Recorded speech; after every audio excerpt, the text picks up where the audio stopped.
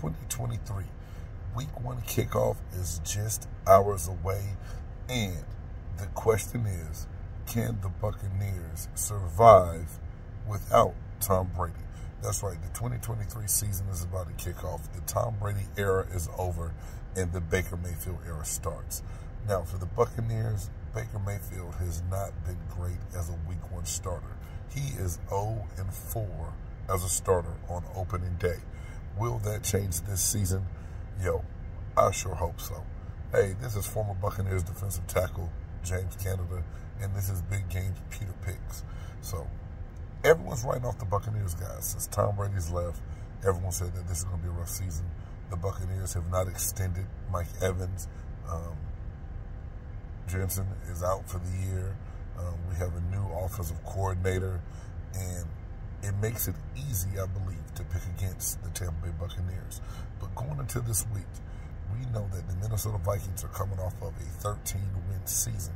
A lot of those wins were comeback wins, wins that they not did not win by big margins, but they were a scrappy team.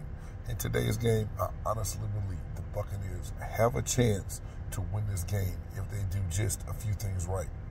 First and foremost, Canales said that he's going to establish the run with Rachaad White and then utilize play action pass. So let's hope that we can do that.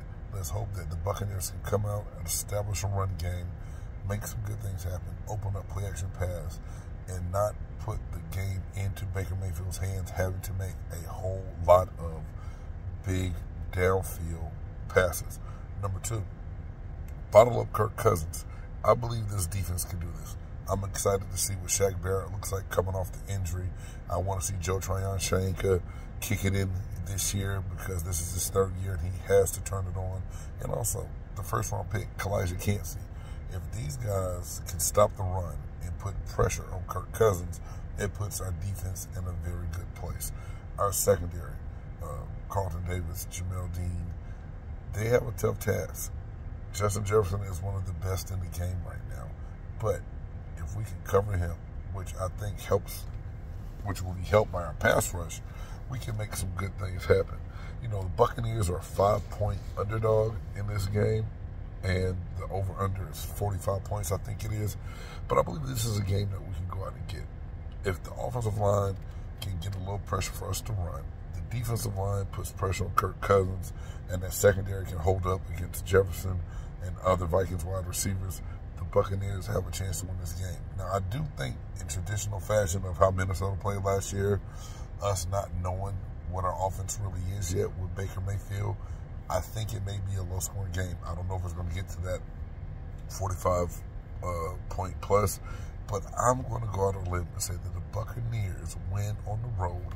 Baker Mayfield gets over the hump of not being able to win that opening day game as a starter. He gets it done today by a final score of 21 to 17.